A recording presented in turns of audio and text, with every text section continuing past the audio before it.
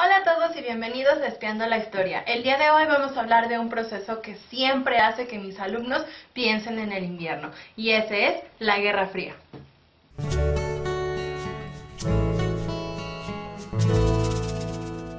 La Guerra Fría fue un proceso que se desarrolló en el siglo XX, después de la Segunda Guerra Mundial. Y no, no tiene nada que ver con combatir en invierno o pelear en medio de la nieve, sino con un proceso de enfrentamiento entre los Estados Unidos y la URSS en el siglo XX.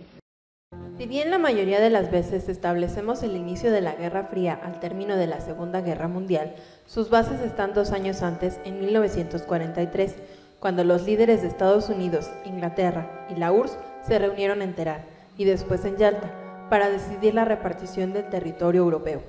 Tanto Churchill como Roosevelt sabían que cuando terminara la guerra con Alemania iba a ser imposible empezar una nueva contra quienes habían sido sus aliados, por lo que decidieron que la URSS controlara el territorio que a partir de entonces se llamaría Europa del Este, conformada por Polonia, Checoslovaquia, Hungría, Rumania, Bulgaria, Yugoslavia, Albania y Alemania.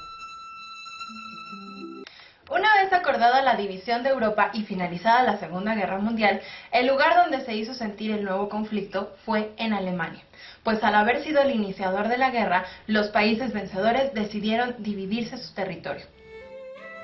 Francia, Inglaterra, Estados Unidos y la URSS se repartieron el territorio de Berlín y del país completo para crear dos países, la República Democrática Alemana y la República Federal Alemana, controlados por Estados Unidos y la URSS respectivamente. Estados Unidos y la URSS habían sido aliados durante la Segunda Guerra Mundial. Entonces, ¿cuál era el problema? El problema era que los Estados Unidos era capitalista y la URSS era socialista. Y en este conflicto de la Guerra Fría querían ganarle en influencia al otro. Una primera forma de ganarle al otro en influencia fue formar alianzas. La de Estados Unidos era la Organización del Tratado del Atlántico Norte, OTAN, mientras que la de la URSS era el Pacto de Varsovia. Y como ves en el mapa, así es como se dividieron el mundo.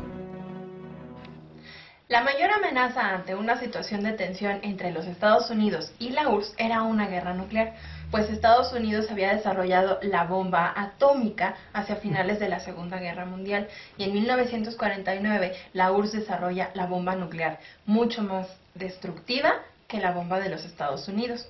Si cualquiera de los dos llegara a lanzar una bomba causaría una guerra que destruiría todo. El temor era bastante real y prueba de ello son las numerosas películas de Hollywood que podemos ver en esa época. Y el momento más cercano a una guerra nuclear fue en 1962 con la crisis de los misiles en Cuba. Durante los años que duró la Guerra Fría, nunca hubo un enfrentamiento armado directo por el control del mundo entre los dos países.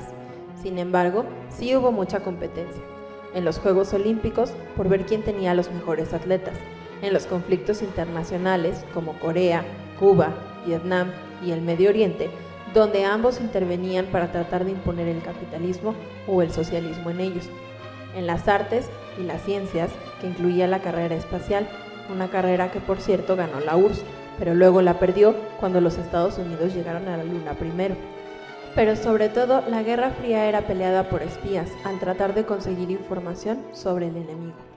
De acuerdo con los historiadores, el conflicto de la Guerra Fría se terminó en 1989, cuando la URSS perdió el control sobre su territorio en Alemania y los ciudadanos derrumbaron el muro que había sido construido para mantenerlos separados.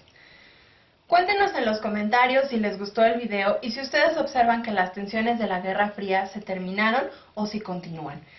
Recuerden darle like al video, compartirlo con alguien a quien le pueda gustar, suscribirse si no lo han hecho todavía.